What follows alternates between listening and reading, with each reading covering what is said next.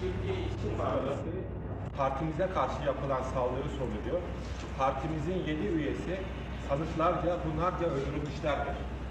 Bunun için de ifade belirttiğimiz gibi kurulmanın sebebi bu toplantıda göre Türkiye İşçi Partisi'nde ilçe başkanı yine olayı hiç tanımadıkları bu kişilere yönelik ve anayasamızın vazgeçilmez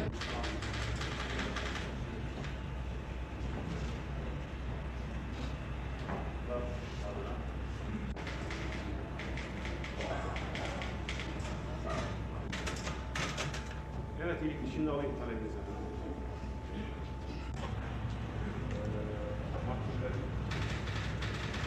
Aileleri al. Havaya. mücadele talebimiz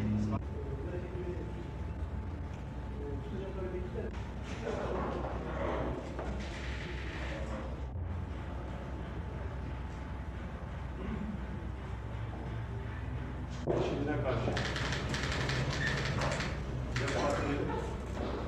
Yasal siyasi faaliyetlerine dava konusu olaydan Efraim Ezgin'in